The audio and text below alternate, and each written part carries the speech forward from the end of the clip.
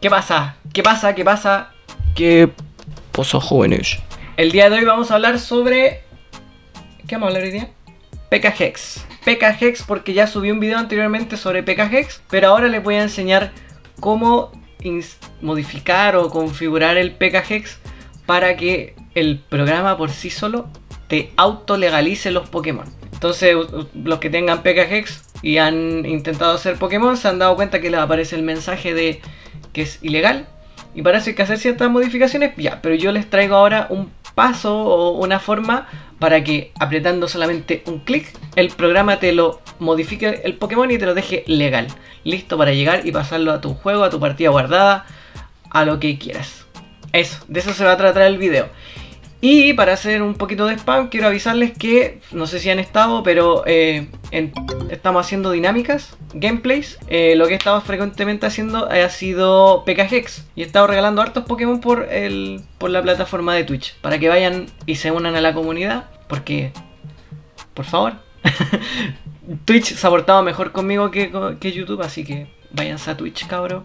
Bueno, en Twitch son los directos. Los videos se van a seguir subiendo aquí en YouTube, así que eso es todo. Así que, sin más intro, que ya llevo mucha intro, comencemos el video. Ok, entonces lo primero que tenemos que hacer es dirigirnos a la página oficial de PKHex, que es a donde suben el PKG, que se llama projectpokemon.org.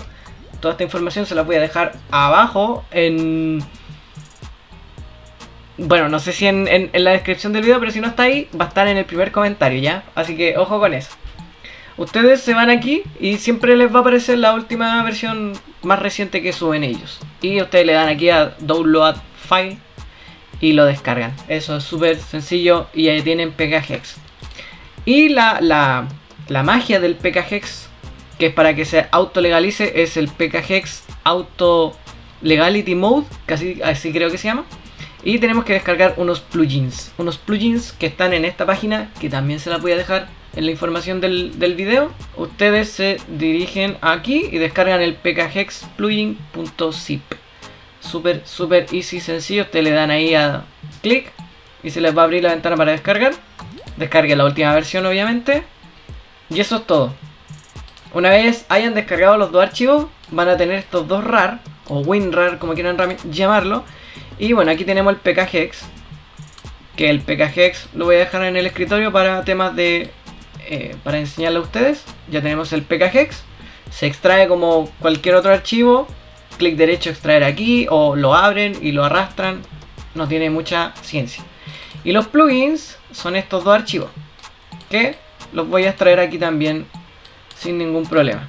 Entonces, ¿qué tenemos que hacer? Lo que tenemos que hacer es lo siguiente. Vamos a crear una carpeta que le vamos a poner pkhex o el nombre que ustedes quieran, pero aquí es donde van a meter el pkhex y lo siguiente que van a hacer, aquí van a hacer una nueva carpeta que se va a llamar plugins, plugins, plugins, con minúscula, plugins. Entonces, estos dos archivos que descargamos, que son los plugins, los vamos a, meter ahí adentro. Entonces, se dan cuenta, ahí están, tenemos PKHex, tenemos los plugins y ya está listo. O sea, no, listo, pero ahora vamos a abrirlo y vamos a ver qué tal. Esperamos que se abra. Esperamos que se abra. Eh, ¿Quieren crear un backup? Sí, le dan a que sí. Listo.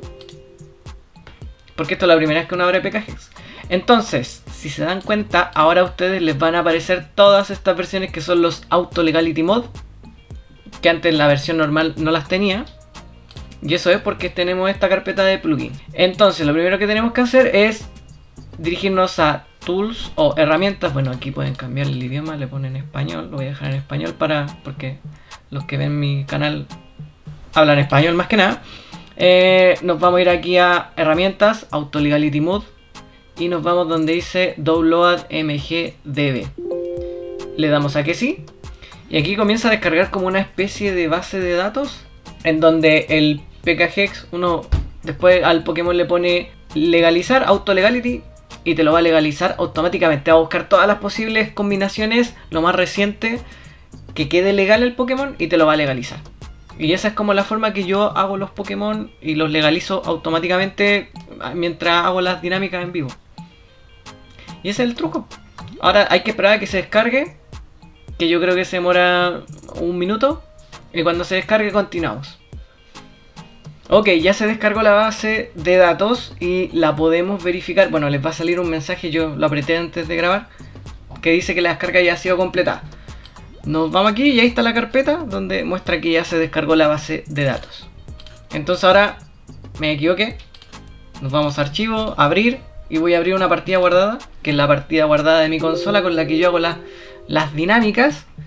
Y voy a eh, modificar un Pokémon. Por ejemplo, este Rey Drago. El Rey Drago, eh, ¿cómo lo podría poner ilegal? Por ejemplo, la Gloria Ball.